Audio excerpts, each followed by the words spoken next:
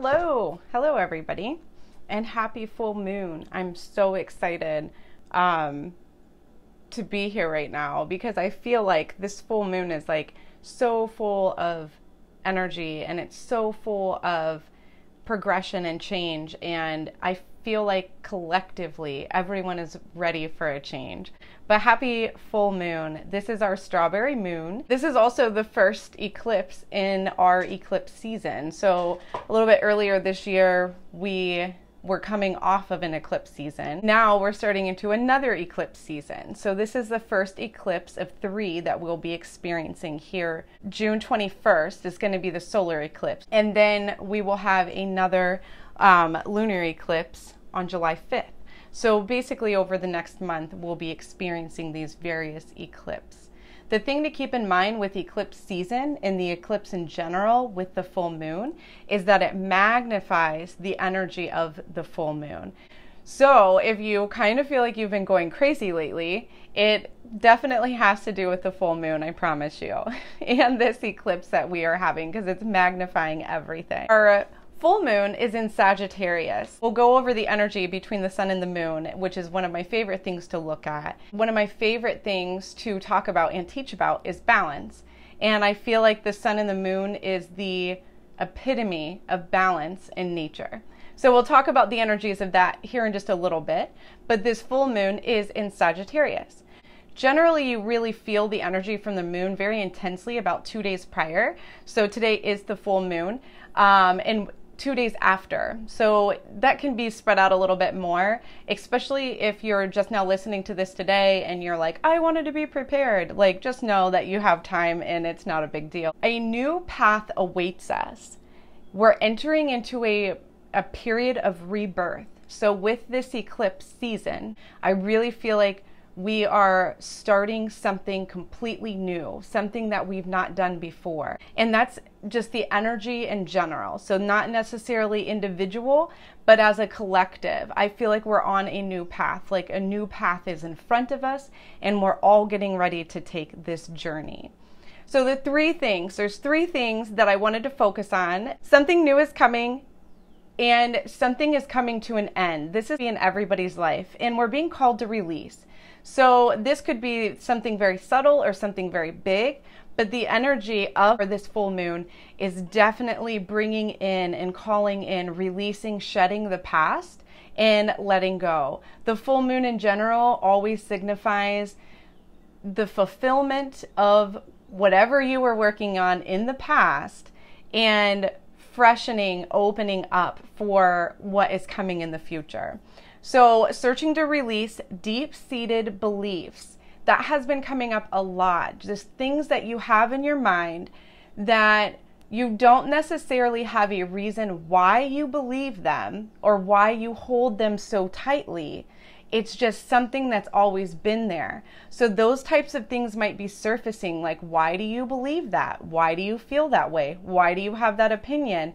And it will boil down to the fact that it's a deep seated belief that maybe you've picked up in your childhood or during your upbringing or whatever it might be. So, those deep seated re- uh, beliefs, we're ready to release those and let them go. And I feel like that energy is so perfect right now. Another thing that goes within this deep seated beliefs and things coming to an end or we're being called to release is the emotions that come along with it. What is coming up for you? Emotionally. And a lot of times we want to push those emotions away, whether it's anger or disappointment or whatever it might be, we don't want to deal with it. So, what this moon, this eclipse season is asking us to do is to sit with your emotions. Allow yourself to feel your emotions, whether it's sadness, anger, grief, it doesn't make any difference, anxiety, depression. Sit with these feelings. Try and understand them, see where they're coming from. Why are you experiencing this particular emotion? And the hardest thing is try not to use judgment while experiencing these emotions. Sometimes, even for myself, simply feeling sad in my mind with my old belief systems that are very deep seated, it makes me feel weak. Being sad equals weakness that has taken a lot of work on my part to remotely allow myself to experience these emotions, those types of emotions, and I still struggle. But that's what I'm saying. Like, you'll start to identify these deep seated beliefs as you sit with your emotions. Acknowledge your feelings of confusion and call on the full moon and the energy of the eclipse to help you illuminate your truth, illuminate your answer. So, just allow yourself to know that you're confused or you're lost. This time is very confusing collectively for a lot of people. All of these types of things that are coming up, it may be very confusing. Where do you stand? How do you feel? Do you do you have an opinion? You know, like allow yourself to be confused, but call on the energy of the moon to help you, the energy of the eclipse to bring whatever it is that you need forwards, especially if you have no idea what it is that you need. So take comfort in knowing that we can call on the energy of the moon to help us in this time. Very, very importantly, watch for imbalances. We have so many imbalances going on right now. Um, people's opinions are flying like crazy. I feel like we need to be, especially in relationships, we need to be very careful. This full moon will definitely draw out impulsive behaviors, anger, frustration, being super impatient, which is probably one of my hardest things, is just being impatient. And a lot of self control issues. So that impulsion like comes with the self control issues. And normally, 99% of the time, if you impulsively do something or you are lacking self control, whatever comes out is regrettable. This can lead to a lot of misunderstandings. And again, specifically watch in relationships, but you will see this covering the entire earth right now. The disputes, disagreements, all of these types of things coming out as anger. So, and frustration and impatience. Watch yourself and send that energy not only to yourself, but expand that energy out to those around you, your home, your neighborhood, your town, your city, and so on and so forth. Try and send that mental message out into the universe of, you know, be patient, breathe, take your time before you speak. And this isn't necessarily the energy of outburst, but definitely watch with that interaction with other people that we're not just instantly going to anger, going to being frustrated, going to being impatient. Try and watch yourself and make sure that you don't allow that energy to sweep you away because it really will. And what are we looking for? Always, always, always with the full moon is balance. We, we want to feel that energy from the sun and the moon and find that balance between the two energies. In this finding balance, I will go into a little tiny bit about the sun and the moon right now. The full moon is in Sagittarius, the sun is in Gemini. Gemini generally represents our lower mind or our earthly mind, and Sagittarius represents our higher mind or our spiritual mind, if you will. So those two are already very directly opposing each other. So the energy of your higher and lower mind, we're being called to find balance there. We need that that earthly mind. We need that physical direction in our life, but also we need that higher mind, that spiritual direction in our life at the same time. And we kind of have to pull from both of these. Gemini is a very logical. So the sun is very logical thinking and it likes to be comfortable, stay in its surroundings. The energy of Gemini is very much so about sustainment and things like that.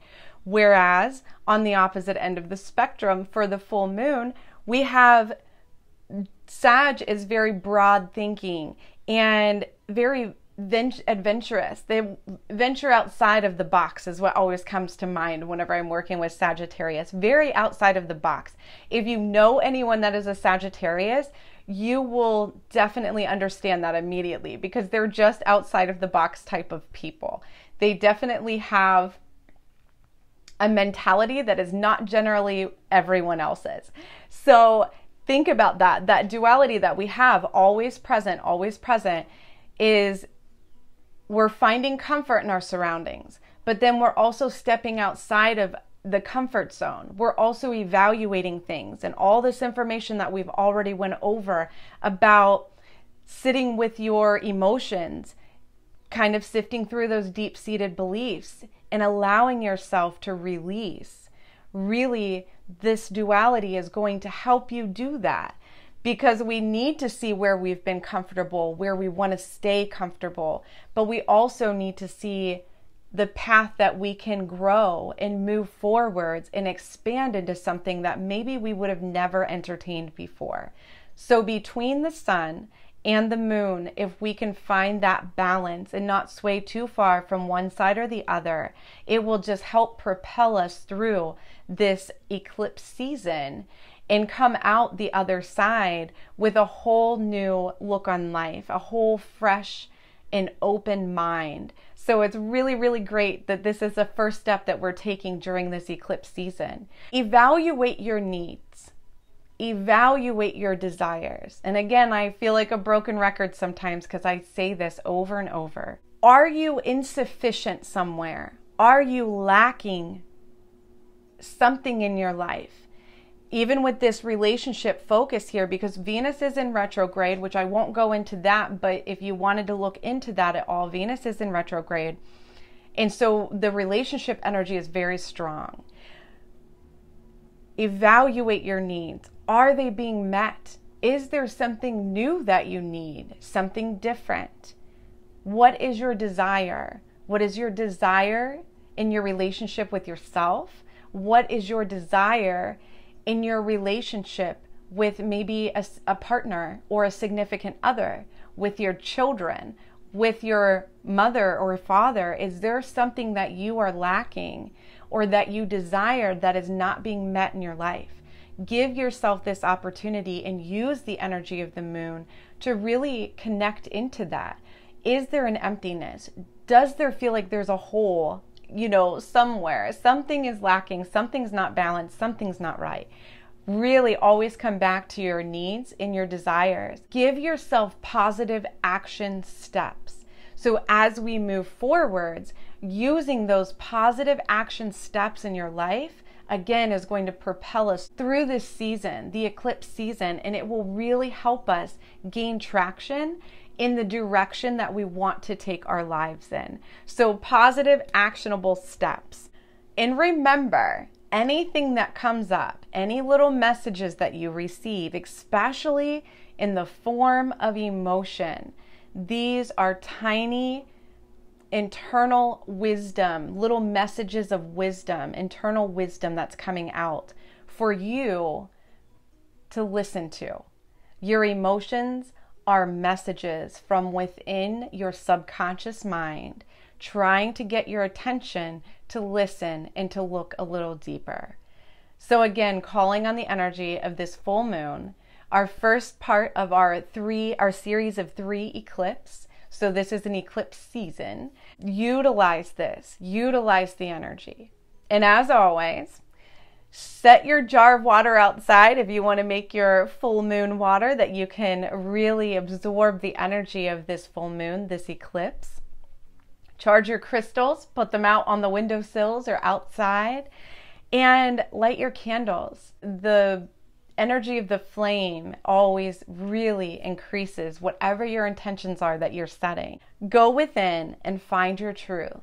Give your inner voice the spotlight from the light of the moon and allow your truth to be heard. I love to celebrate the energy of the moon and, and, incorporate it into my life as much as possible. I hope that everybody enjoys your full moon process and your first step in the eclipse season here.